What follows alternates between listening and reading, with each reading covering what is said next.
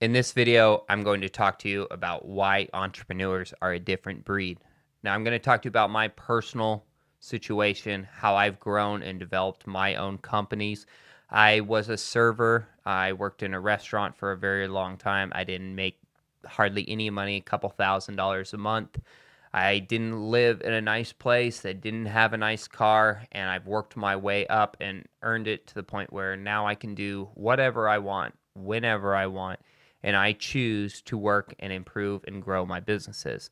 And today I want to walk through why true entrepreneurs are a different breed. And while most people want to start a business, the odds are they're really just a wantrepreneur. I have a list of things that I'm going to be talking about here uh, that outlines some of the situations that I've been through. Just to give you guys an idea, I got my first job when I was 17 years old. I worked at a car wash and then I was a dishwasher. I worked my way up to a server to where I made a couple thousand dollars every single month. Life was pretty good. It was easy. Then at the age of 21, I decided to start my own business. I bought and resold electronics, bought them through Craigslist, resold them on eBay. I worked my way up, and in 2018, we were ranked on the Inc. 500 list, and I did over $8 million in revenue that year, and we had 13 employees.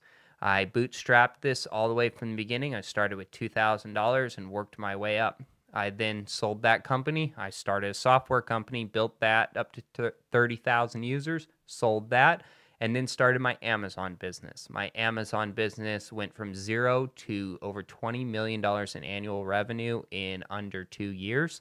And I sold that to a publicly traded company. So I can personally say I have been through the mud, the, the thick and the thin. I have bootstrapped it. I have met many different people along the way. And here are the few things that helped me become better, what I realized about myself, and hopefully can help you as well. So the first thing that I want to talk about is the sanity level. That's what I like to say. So any normal person would think I am absolutely crazy for the things I do because logically it doesn't make sense. I might be able to achieve things where I have such things maybe a nicer car than somebody, or you might have a, you live in a nicer place. But what did you have to sacrifice and how much effort did you make in order to get that? So if you right now you drive a $10,000 car and you want to drive a $20,000 car, that is something that is twice as nice. You know, that's a very common thing that any beginner would want to start with. But are you willing to work 10 times as much in order to have something twice as nice? Because that's what entrepreneurship is. It doesn't make sense. Any logical person would think I'm crazy because the amount of effort it takes in order to get the results that everybody that I have would, doesn't make sense. And that goes for every single other entrepreneur out there when they're starting their own business. The reality is, you're going to have to work 10 times harder only to be twice as good. Next thing I want to talk about is the work and the improvement never stops.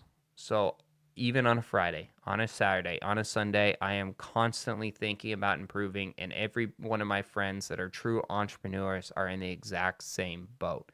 They don't get time off. They don't get time away from their job. Sure, they don't have to work at a certain moment, but they never stop thinking. They never stop innovating. They never stop improving. And that is one of the best ways to show the true signs of an entrepreneur versus a wantrepreneur. Wantrepreneurs talk about it, entrepreneurs act on it. And when they don't have to act, they constantly think and improve in order to act better. Next thing I want to talk about is self education. This is probably the most important one because as you grow, you will become more lonely. You will have less people who can relate to you. At this point in time in my life, I only have one or two people that can understand what I do. Only one or two people I know personally I have a relationship that have built a software company past $10 million in annual revenue, have sold it through an M&A uh, mergers and acquisitions team. And I don't have a lot of people that I can talk to. Most people can understand and grasp the concept of what I do, but they never can really put their feet in my shoes and go through what I've been through. So the technical outlining, the four years of working, the seven years of working before even getting my first paycheck, the millions of dollars of my own money that I've invested that I worked 10 years, and this is a little tangent. I worked 10 years and then spent all of that money in two years to build and invest in the future of a better product that I wanted to bring to the market. Just think about that. Are you willing to work 10 years to then invest some all of that money into risking it all on a product? In this case, it was on Inventoryy. Inventoryy.com, we're an inventory management software. We help online sellers track all of their data. But ask yourself, are you willing to risk everything you work for in the last 10 years that you saved up to hopefully be successful in your next venture? Because a true entrepreneur is willing to do that. And I am constantly improving, investing, educating, and I know I'm not going to fail because I don't quit. I've never quit, and I'm not going to quit anytime soon. That comes to my next thing I want to talk about is encouraging challenges. If you are scared of competition, if you're worried about your competition coming up with an idea that's better or stealing your ideas or anything like that, you're not even cut out for it at all. I can be honest with you. I personally, right now, I'm competing against some of the largest companies in the world. There's not a lot of inventory management softwares out there, and the people who do it are companies like Salesforce, Microsoft, Oracle. These are multi, multi billion dollar companies that could squash me at any point in time. But guess what? I don't quit and you shouldn't quit either because what I do is these Goliaths, I'm able to chip away at them one little chunk at a time, just one little chip at a time. It doesn't make a difference to them. They still grow faster than I grow, probably, but I'm able to chip away. Will I ever beat them? No, I'm never going to beat Microsoft. Come on now, we have to be realistic. But will Microsoft recognize who I am and possibly acquire my company? Yes, most definitely. That's exactly what's happened in my past where my competitors who are bigger than me recognized me and then they swallowed me up. And that's a perfect acquisition in my mind. So I highly suggest and encourage you to take on bigger challenges, to take bigger risks, because there's never been a time when an entrepreneur took a bigger risk and invested further in themselves and they went backwards. There might be a financial measure where they go backwards, but they have never learned less. You ever met somebody who re- read a book and knew less? That never happens. The same goes for entrepreneurship. The amount of time that you effort, the amount of time that you apply and efforts that you make in your business will reflect on your future, even if you don't get a financial benefit immediately from it, because you will learn from your mistakes and you will be able to work faster.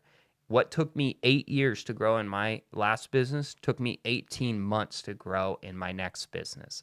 Just uh, understanding and the challenge that I was willing to accept and the failures I made, I didn't replicate those and it sped up the process to my success. Now, the next thing and the last thing I want to talk about is competition and being obsessed with your competition, your market, and every single thing around you.